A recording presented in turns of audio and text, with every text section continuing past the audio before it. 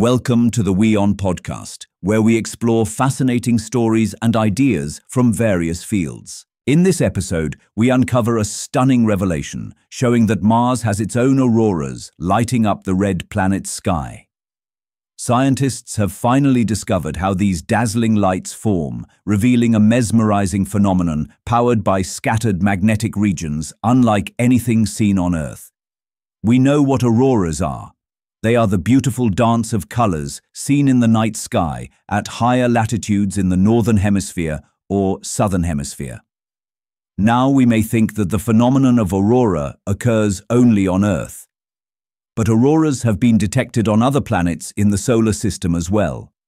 In the case of Earth, auroras are formed when the solar wind interacts with Earth's magnetic field. The solar particles then travel along the magnetic lines and then interact with the upper atmosphere of the Earth. It is then the mesmerizing dance of colors is seen. The magnetic field of the Earth plays a large part in formation of auroras. Scientists now know how Mars, a planet without a magnetic field of its own, is able to form auroras. Mars did have a magnetic field, but it decayed very early in its life. So how are Martian auroras formed after all? Scientists say that there are regions of localized magnetic field still present on Mars, particularly in the southern hemisphere. These localized magnetic fields help in the formation of Martian auroras.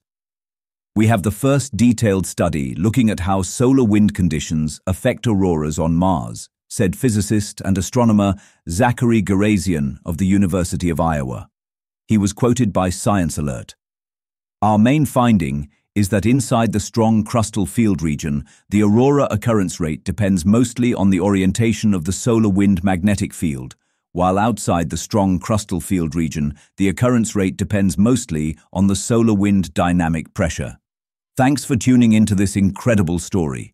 If this episode resonated with you, don't forget to hit the like and subscribe button for more captivating stories to come. Stay tuned.